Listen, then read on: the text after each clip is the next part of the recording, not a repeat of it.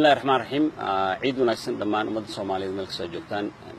Waxaan rabaa fursaddan in aan uga hadlo arrintan hadda taagan oo soomaalida oo dhan ay ka hadlayaan oo murugada leh. Waa arrinta qalbi dhagax cabdikariim arrintani in soomaalida meel kastoo ay joogto ay dhibtay laskuma hayo waa arrin murugo leh waana arrin aan hore u dhicin oo hadda noogu horreysa marka ugu horreysa waxaan rabaa in aan faahfaahiyo sababo jira oo arrintan ku lug leh. Dhacdadan murugada leh dad fara badan ayaa ka damqaday dadna waa u damqadeen. Dad ayaa ka faa'iidaystay dadna way ku faa'iideen. Dad fara badan ayaa siyaasadeeyey oo arrintan ka dhex arkay danahooda gaarka ah. Aniga haddaan ka hadlo gaar ahaanteeda shaksi ahaan madaxweynaha maxamed cabdulaahi farmaajo waa la soo shaqeeyey waa u shaqeeyey. Waa aqaanaa shaksi ahaan kumana tilmaami karo qof arrintan maanta dhacday oo aynu kulligeen ka wada hadlayno na kulligeennana na dhibtay in uu intuu subax soo kacay uu ku fikiray in cabdikariim qalbi dhagax oo ah muwadin soomaaliyeed waddankaa u soo dagaalamay deganaa carruurtiisu ay deganayd in laga afduubto oo waddan kale la geeyo.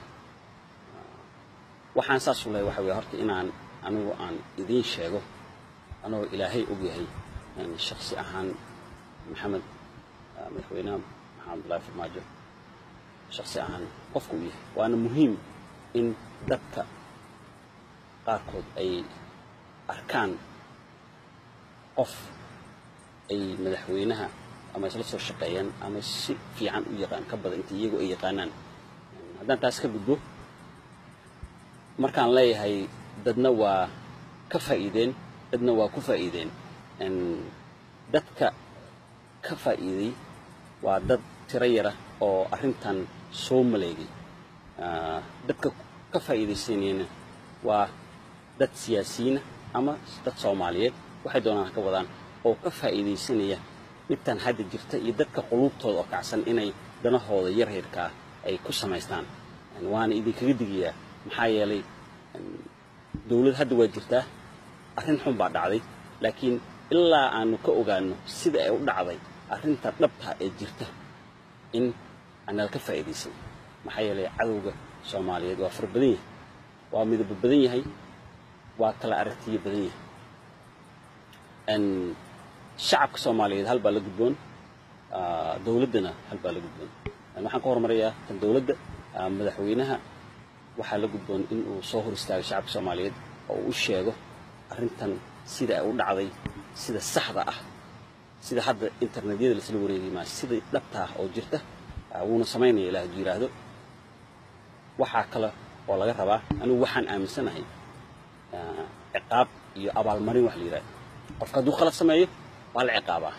Qofka hadduu wax fiican sameeyana waa la abaalmariyaa. Arrintani abaalmarin ma laha khalad baa la sameeyey. Marka waa in dadkii ka dambeeyey arrinkan kor ilaa hoos wax laga qabtaa oo sababta ay u sameeyeen laga abaalmariyaa waxa weeye cambaarayn iyo shaqa ka eriyid keliya arrintani arrin ku haraysa maaha. Dowladduna way samaynaysaa.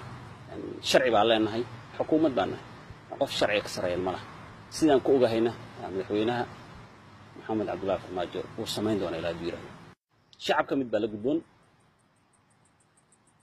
rajada iyo dowladnimada. Waa sidii geed oo kale geedka toostoosin buu u baahan yahay. Waxaa anagana la gudboon in aynu hoos ka jarno ma fiicna waa in aanu wixii khaldan wax ka toosina oo fikirkeena ka dhiibanaa waa in aysan qiirana qaadan waa inaan ka fiirsannaa degdegtu ma fiicna. Arrintani way soo baxaysaa.